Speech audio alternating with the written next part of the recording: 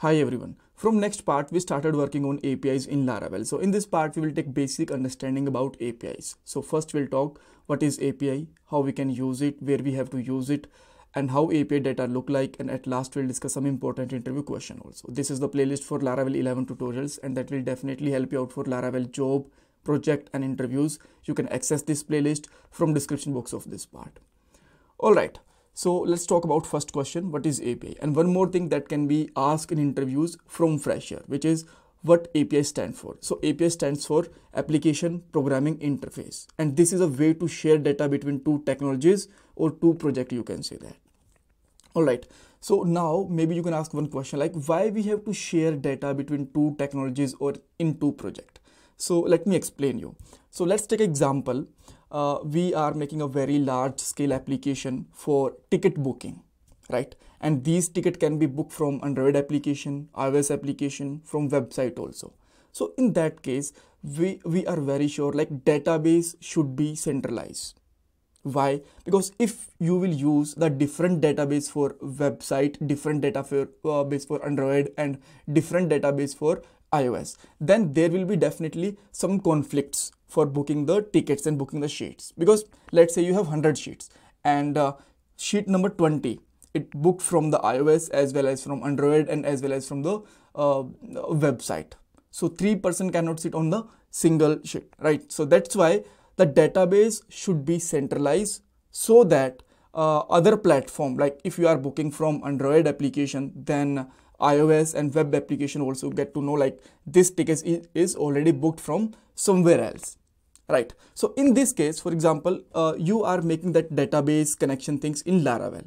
And that data we have to share with the uh, web applications like for uh, uh browsers in react and angular uh, in android application and in ios application.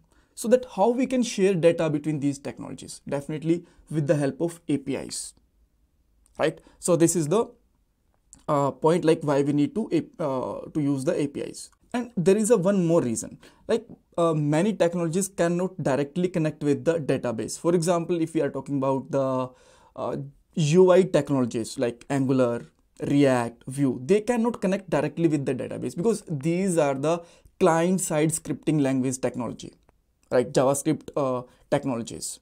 So they can only interact with the user, they cannot interact with the database. So in this case, first we have to create APIs in any server-side scripting language, maybe in PHP or Java or in Node.